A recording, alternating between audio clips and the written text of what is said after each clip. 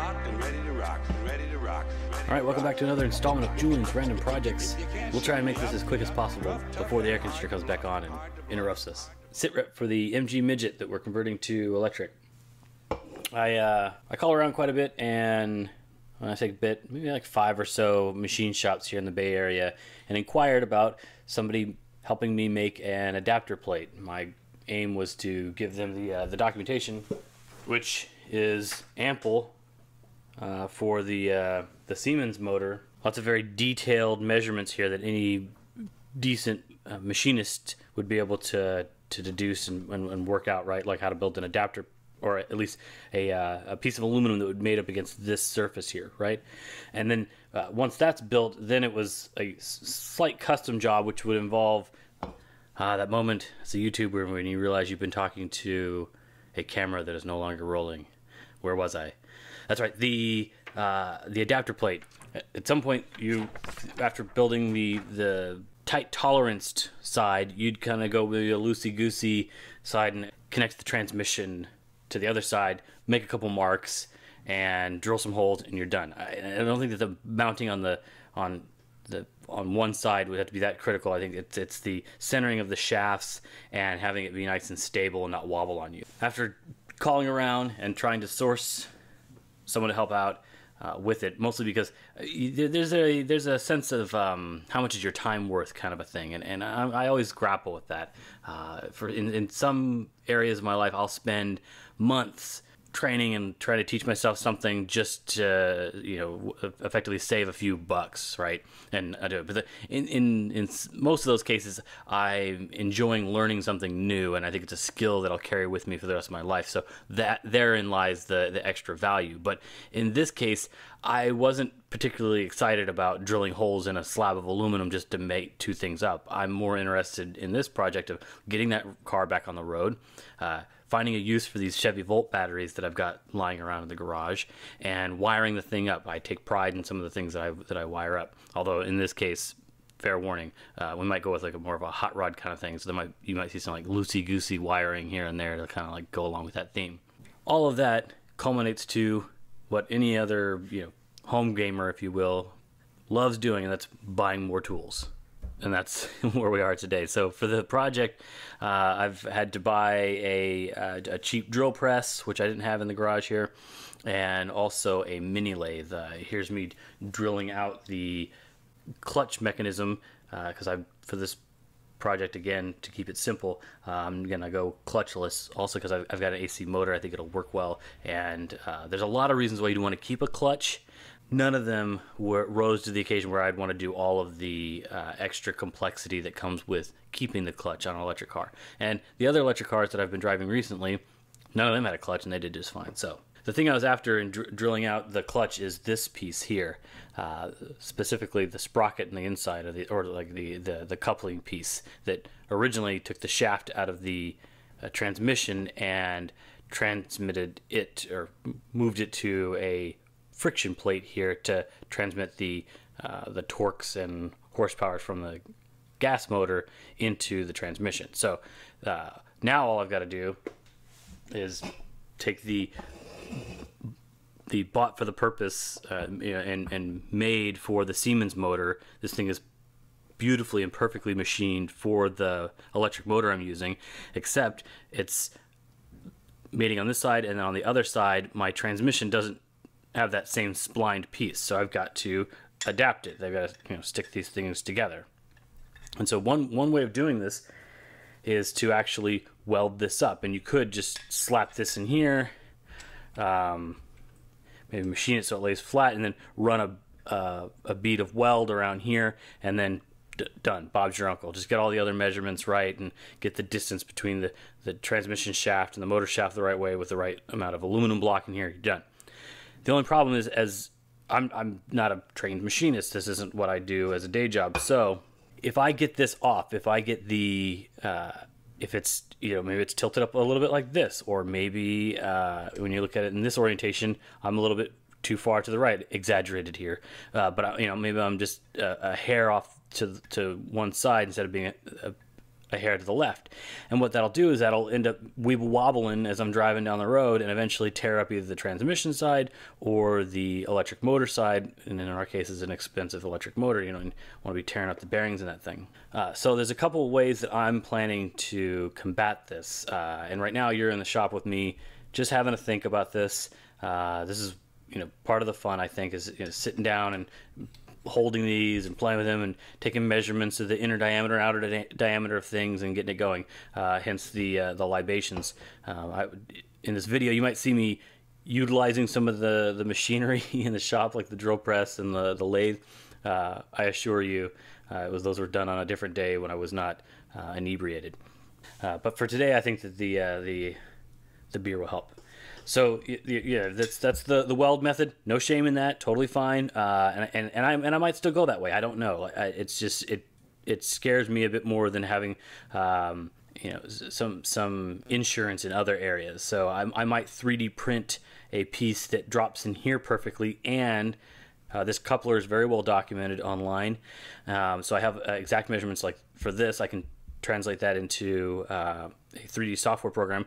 And these, I can take a, uh, this side, I can take just a bunch of measurements and, and do something uh, very similar. So I'd make the negative of these, drop it in, slide this onto that same 3D printed part. It would perfectly line it up, dead center, and then start tack welding this thing up and, and, and Bob's your uncle. Uh, which reminds me, I also bought a welder. Uh, but that's for a future video. Uh, in this one, I want to discuss some of the other options I have. Um, I, while I was waiting for this thing to come in the mail, I was looking for something I knew that the EV conversion community had been using, and that's the the the tried and true Lovejoy coupler.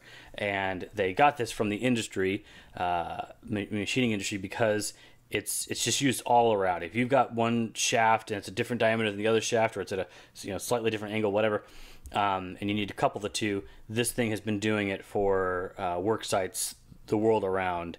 It's a proven piece of technology, and I would love to tell you that I've got this type of smooth sh- shaft on the motor side, and then it's just a matter of coupling this to the transmission. But I don't. I've got to both uh, couple this side and this side to you know to the two.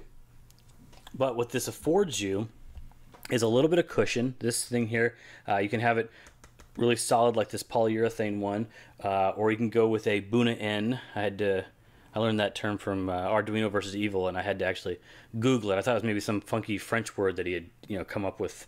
Uh, not the case. It's an uh, industry um, term for the, the type of rubber that this thing is made out of. So, Buna N. Uh, this one's so soft, like you can actually like flex it and stuff. But uh, what this gets you is a little bit of shock absorption. If one, you know, the input shaft just starts wrenching on it, there's a little bit of give before the output shaft starts to, to catch up, and that can help uh, with the alignment of gears and teeth and that type of stuff. So that's really helpful. What this also gets you is some forgiveness in slight misalignments. If this is misaligned, I mean, this is, again, this is for exaggeration. I, surely you wouldn't have it out this far, but as if these two shafts were misaligned at this angle as they spun around, it would be constantly kind of like rocking inside of here, almost like a universal joint. And this this particular uh, coupler will allow for some amount of that, not a ton, but some. And it's just enough where it might save my bacon when I go to put this thing all together and I've made some mistake, uh, some error in, you know, doing the proper prep work before I start welding things or bolting stuff to stuff. So that's the Lovejoy coupler, and the the thing on the inside they call these spiders. So it it might look like I've got a bunch, and that's because while I was waiting for that uh, part to come in the mail, I stumbled across uh, a eBay posting for a a lot of these, as in like a chunk, and that's exactly what I got. I mean, couplers, more couplers,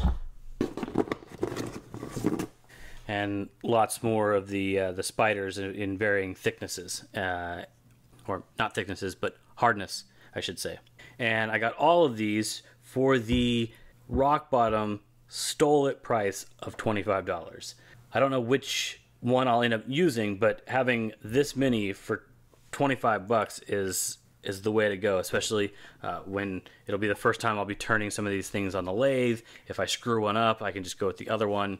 Um, and the the other thing that's fun about these designs is like little Lego pieces, the this inner piece, the uh, the spider and the orientation of these three lobes uh, is identical on both sides. They're symmetric, so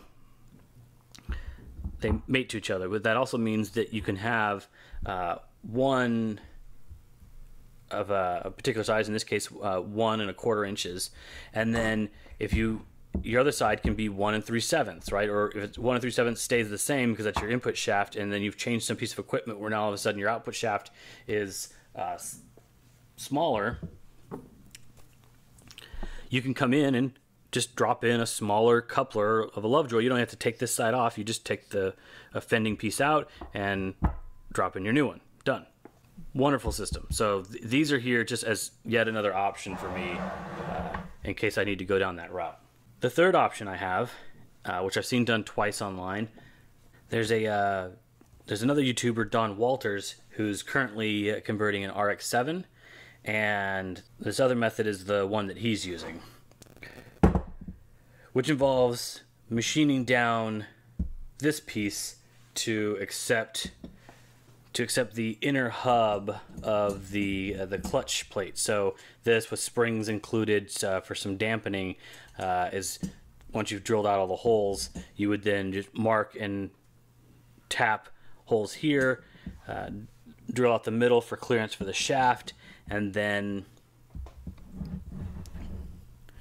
on the inner piece here, he's drilling out another hole uh, to accept the, a uh, another a, uh, a, I think a B lock might be what he's using, uh, where you you make a a hole here, put the uh, the bushing in, then you put your shaft of your motor in, and then you tighten down the bushing all the way around, and it wedges itself in there.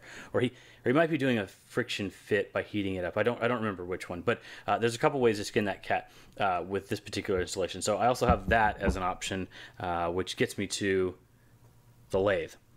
Now, the lathe might be I might I was originally thinking I was going to need it regardless because I'm taking measurements between the motor and the transmission, and this shaft or this, this coupler as it comes is uh, too long, and so I might end up having to cut it down some. And I thought the best way to be just to cut it off with a lathe, uh, and then I was also expecting to have to, to uh, drop one of these into these guys. Now I can I can just purchase one. I already I know the outer diameter of this. I could just purchase a Lovejoy that's the same diameter, uh, but I'm confident it would be more expensive than uh, the 25 bucks that I spent on all of these couplers.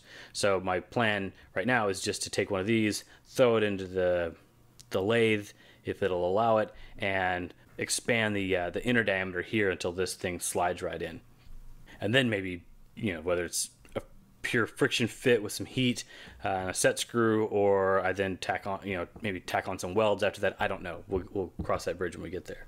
So that's kind of where we are. And I just want to give you guys another update on the the midget. And let me know in the comments if this is uh, something that you've done before and you've had some experience and you're just cringing that I'm going to machine down this big slab of aluminum or even that I'm even thinking about it or that uh, I'm an idiot because I didn't realize that you know somebody sold this thingamawatchit and it's five bucks and I should have already bought it. Let me know. Share the knowledge. I will leave you with uh, Julian's first chips on the lathe. Pre-washed, pre-cooked, preheated, pre-screened, pre-approved, pre-packaged, stated, freeze-dried. Pre-washed, pre-cooked, preheated, pre-screened, pre-approved, pre-packaged, stated, freeze-dried. And, and, and, and, and, and, and, I'm hanging in, there ain't no doubt, and I'm hanging tough. Over and out, over and out.